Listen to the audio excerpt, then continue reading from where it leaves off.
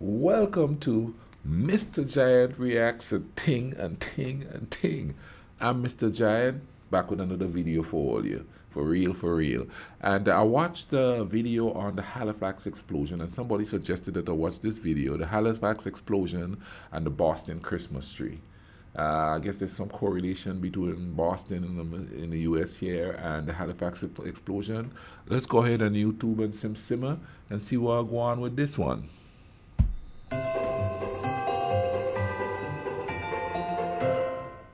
The American Christmas Tree Association estimates that around 77% of American households, some 96 million of them, will put up a Christmas tree this holiday season.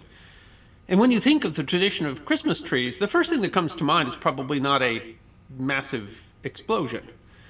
But in fact, one of the most famous Christmas trees in America is intimately linked to one of the most devastating explosions in human history. It's a story of great tragedy and great heroism and great generosity that goes to the heart of the very meaning of Christmas. It is history that deserves to be remembered. Halifax is the capital of the Canadian province of Nova Scotia, including a large natural port on Canada's Atlantic coast. The city motto, Imari Mercies, means from the sea, we get our wealth. In fact, the location of the modern city on traditional lands of the Micmac peoples was called in the Micmac language Chibuktuk, meaning Great Harbor. That natural harbor was the reason that the British created a settlement there in 1749, sparking conflict with the Micmac.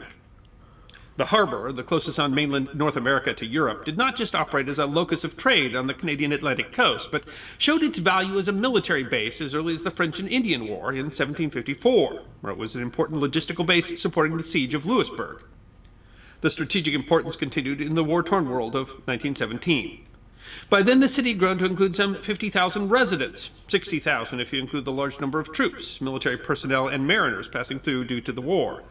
Halifax was an important railway terminus, with troops and supplies flowing by rail from Canada and the United States to its harbor, where ships heading to the continent gathered to form convoys, a defense against the dreaded German U-boats.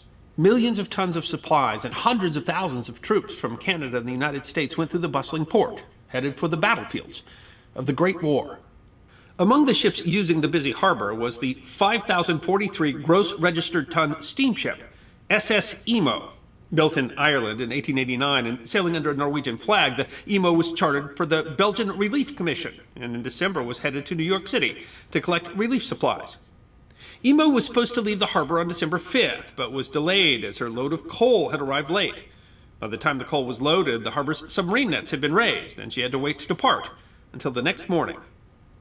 Also transiting the harbor that December was the 3,121 gross registered ton French flagged general cargo freighter SS Mont Blanc. The 18-year-old Mont Blanc was owned by the Compagnie Generale Transatlantique, the French state-owned line that was responsible for French wartime shipping. She had left New York on December 1st, loaded with munitions, headed for Bordeaux and the battlefields of France. She was to join a convoy headed for the continent that was forming in Bedford Basin, a large enclosed bay that formed the northwestern end of Halifax Harbor. She had arrived on December 5th, but after the submarine net had been raised and had to wait for the next morning to enter the harbor. At roughly 8.45 a.m. on December 6th, the Imo, empty of cargo, was leaving the port, headed for New York, while the Mont Blanc, laden with explosives, was entering the port, having just come from New York. The two ships were passing through a part of the harbor that was called the Narrows. Through the Narrows, ships were supposed to keep to starboard and pass each other port to port but the Imo first encountered an American steamer, SS Clara, which was in the wrong lane. To avoid collision, Imo moved to port and the two passed starboard to starboard. Imo was then forced even farther out of lane to pass a tugboat. And this meant that when the Imo encountered the Mont Blanc, entering the harbor, it was out of position, and the two were on a collision course. Wow. The two exchanged signals. Mont Blanc halted her engines, and Imo reversed hers, but that caused her bow to swing towards Mont Blanc. The result, the Halifax Evening Mail explained, of a right-handed propeller reversed while a steamer still had headway. The momentum of the two ships brought them together. The accident wasn't extreme. Estimates are that both ships had slowed to less than one knot before they collided. The damage to SS Mont Blanc wasn't severe as the bow of the Imo struck her on the side. The people of Halifax and the city of Cambridge on the other side of the harbor had heard the boats signaling each other and had come out to see what the excitement was about. Most seemed to be wholly unaware of the disaster that was about to unfold. In normal times, an ammunition ship would not have been allowed into the harbor because of the risk of explosion, but that restriction had been relaxed due to the needs of the war. Owing to the explosives, the harbor pilot aboard Mont Blanc had requested a special guard ship to be assigned, but none had been. Typically, ships carrying munitions would fly a red flag to warn other ships of the danger, but the practice had been suspended due to the war and the fear of German spies. The Mont Blanc was not seriously damaged, but its deck included barrels of benzol, a highly flammable fuel. The collision had upset several barrels, spilling the fuel across the ship's decks, and as Imo reversed course and disengaged from the collision, it caused a spark, and the benzol ignited. The chief officer of the Mont Blanc would later testify that no human power could have extinguished the flames that almost immediately followed the collision. What's more, the ship's only hose was inaccessible because of the fire. The crew of the Mont Blanc quickly abandoned ship, and the ship drifted towards the port's dock number six. Oh, wow. Other ships, including a part I didn't tug and a whaler, saw the fire and moved close to fight the fire with their hoses. The growing number of people watching from shore saw the smoke, but didn't realize what it meant, as the ship did not display the red flag indicating that munitions were on board. But the Mont Blanc was carrying 2,925 metric tons of high explosives. The chief officer later testified in court that the crew of the Mont Blanc tried to wave people away from the danger, but their message might have been misunderstood, as only one of them spoke English.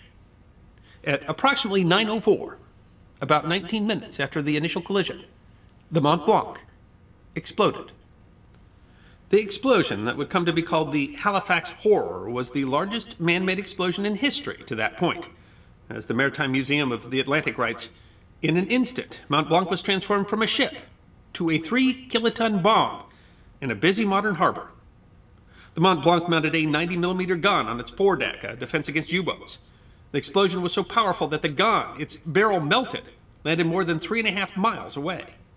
The blast was heard 225 miles away on Cape Breton Island. The tsunami resulting from the blast was 60 feet tall. Every building in a radius of more than a mile and a half was damaged. Estimates are that at least 1,600 people were killed in the initial blast, and thousands more injured or trapped in the rubble. Quickly, fires started from the lamps and stoves inside now collapsed buildings. The Montreal Star wrote, To add to the horror, fire broke out in a hundred places, and those who were pinned down by the debris met the most horrible death. The Star continued, The war has touched Halifax. Sorrow and anguish are left in its trail. Where only a few hours ago the most prosperous city in Canada stood secure in her own defenses, unafraid and almost apathetic, there are now heaps of ruins. No one could yet estimate the loss of life and property, and words fail to describe the mental anguish of those who have lost homes and dear ones by one cruel stroke. The crash came as suddenly and unexpectedly as the Zeppelin bombs have fallen upon undefended English towns, and the effect has been the same.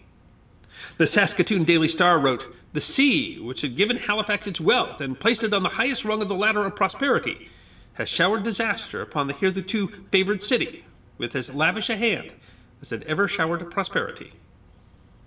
It would be too much to try to explain the severity of loss or the extent of the heroism by the people in the midst of disaster. A telegraph dispatcher sacrificed his life to warn oncoming trains of the impending explosion. His last dispatch read, Guess this will be my last message. Goodbye, boys. A leading citizen climbed aboard a burning barge, also loaded with munitions, and extinguished the fire, preventing yet another explosion. Halifax had the oldest fire service in Canada and boasted a new motorized American LaFrance pumper named Patricia, the first of its kind in Canada. Firemen of the brigade responded to the initial fire, bringing Patricia with them. When the Mont Blanc exploded, eight men from the brigade were killed outright, and a ninth died later of his wounds. Halifax Magazine notes it remains the largest single loss of firefighter life in one incident in Canadian history. Fire brigades come from nearby communities, some traveling more than 100 miles by train, only to find that their hoses did not connect to the Halifax water sources. No, no, the other video didn't go into such details as to individuals who were affected. It just told about the, the, the blast. That's one reason why I didn't say much through it. But through the description of what happened with the ships and stuff like that. But now they get into the real personal stuff about the firemen and uh, how they they they go in there. Now they did talk about the telegraph operator in the other video and how he went back because he was about to escape, but he went back to warn other trains about the explosion and stuff like that. You know what I mean? So that's just crazy, man. To think if we would make something that would help mankind instead of something that's going to explode and kill so many people. I mean, we have enough natural disasters going on already, you know. And I know some people said, oh, yeah, war is necessary and all of that. And, you know, I don't disagree or agree with that. Sometimes things come to the point where you have to, you know, do things. But, you know, when a tragedy like this happened, and I was, you know, just watching the video, I wonder, okay, so the, the blasts and stuff happened here in Halifax but all that munition and stuff was supposed to go to the front lines. So how did it affect the fighting on the front lines? You know, because all that uh, supply, you know, ammunition and stuff didn't make it to its final destination. I wonder how that affected the the war effort, to say the least, because there was a lot of explosives and stuff in there. Halifax was in desperate shape. More than a thousand dead, thousands more injured fires still burning, and tens of thousands left homeless, open to the elements in the middle of a Canadian winter. Wow. While nearby communities responded quickly, the extent of the destruction required relief from farther away. Calls went out across Canada and the United States. Immediately, assistance came from many quarters, including the U.S. Navy protected cruiser USS Tacoma, returning to Halifax after escorting a convoy. The cruiser was hit by the waves caused by the blast, and seeing the rising cloud of smoke, altered course to assist Halifax.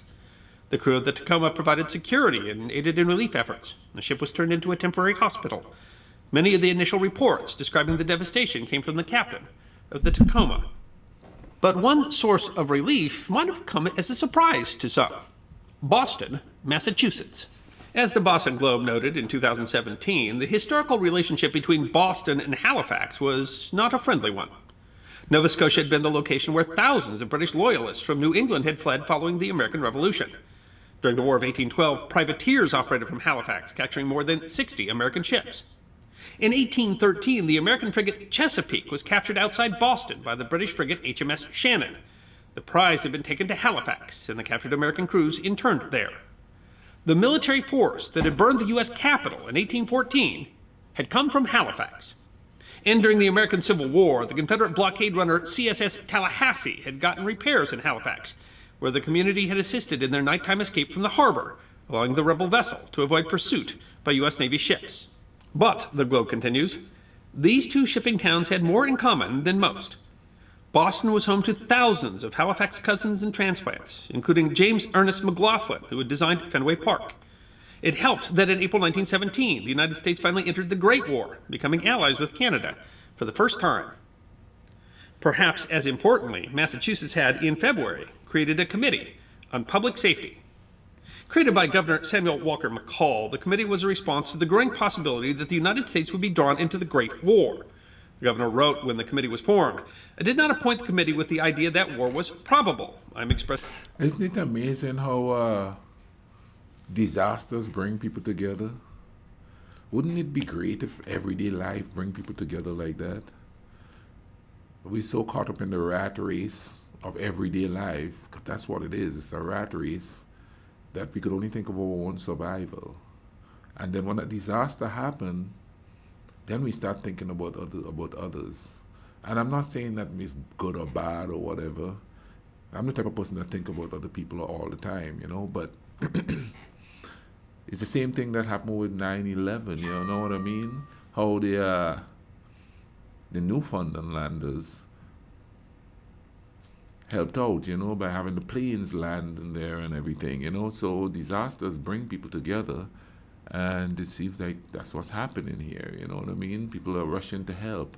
And even when there's a typhoon or a tidal wave, so well, yeah, what do you call it, a tsunami somewhere, see people mobilizing. Now, I've had some people here when something happened, they go, why are they sending all the money there when we have the starving people here, even after a disaster? Trust me, I've heard that here too, uh, from some people who are really nationalistic Uh, but if only we could uh, apply that to everyday life, you know, and start thinking about how other people are living instead of allowing ourselves to be politically swayed to think that, you know, somebody dislikes you when in truth and in fact, like they said, Halifax and Boston was more similar than different.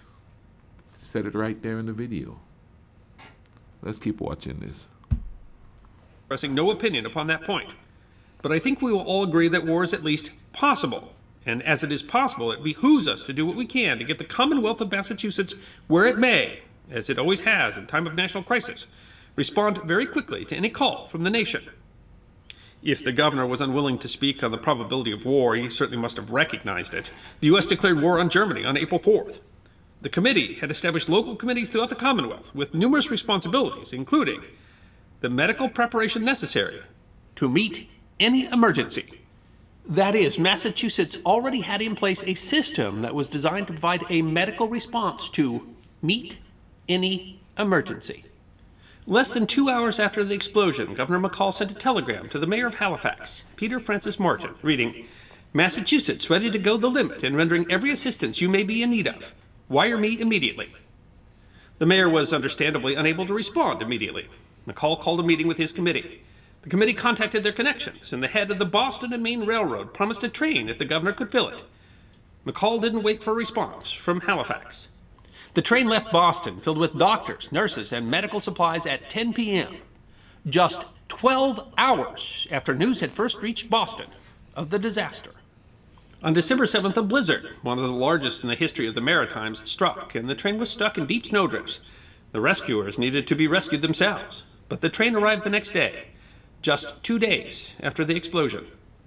Owing to McCall's committee, the desperately needed medical relief from Boston arrived even before that of other Canadian provinces. The Globe quoted noted Halifax historian Thomas Raddall, an explosion survivor. Doctors and nurses arrived from outlying provincial towns, and substantial help was on the way from Montreal and Toronto. But the first and most valuable assistance came from the ancient foe from beyond the Bay of Fundy. Another train from Boston arrived on the 9th, this one carrying equipment for a hospital. The Boston steamship Calvin Austin, chartered by the U.S. Shipping Board, was delayed by the storm but arrived on the 11th. According to the Canadian military history magazine Legion, cargo included 985 packages of mattresses, 591 cots, 86 bundles of pillows, 200 bags of flour, 115 cases of canned beef, 200 cases of canned beans, 62 cases of coffee, and 26 cases of tea. There were shoes, crackers, glass for windows, roofing, clothing, bread, and even margarine.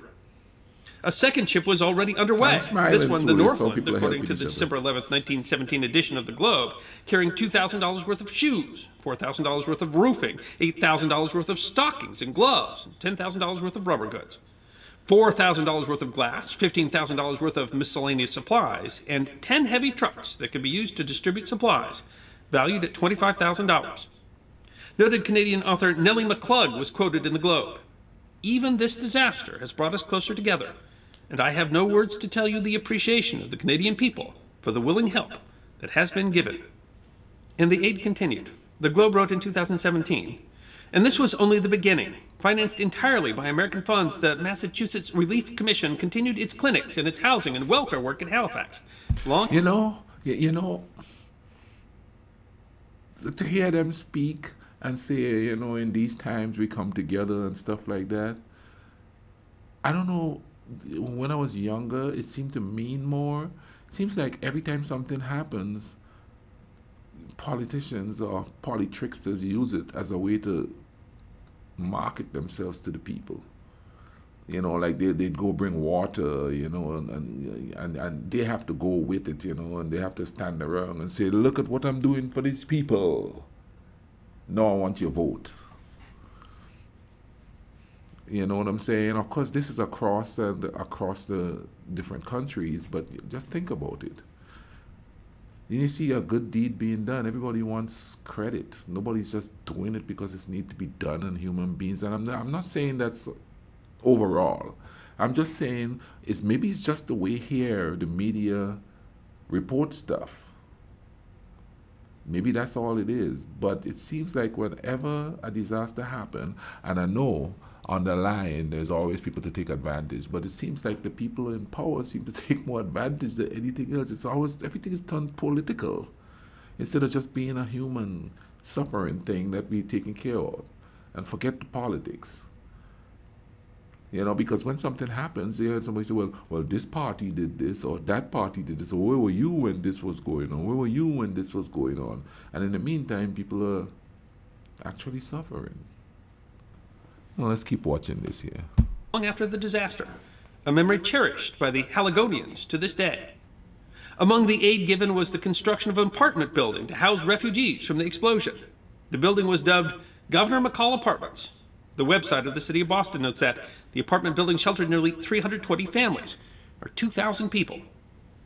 And in the wake of the disaster came a Christmas tradition. The City of Boston webpage continues. Many of the Bostonians who found themselves in Halifax for the Christmas of 1917 decorated the hospitals where they worked, putting up Christmas trees and other decorations. A year later, in December of 1918, Nova Scotia sent a Christmas tree to Boston as a thank you for Boston's help after the explosion. In 1971, Nova Scotia revived the tradition with a tree donated by the Lunenburg County Christmas tree producers until 1976, when the government of Nova Scotia took over the donation to continue the goodwill gesture and to promote trade and tourism. Of course, Halifax got aid from all over the world, not just Boston and other Canadian provinces and other U.S. cities were also very generous, but the speed and breadth of the Boston response has never been forgotten in Nova Scotia. It stands as a symbol. John Bacon, who in 2017 wrote a book on the Halifax explosion, was quoted in the Boston Globe.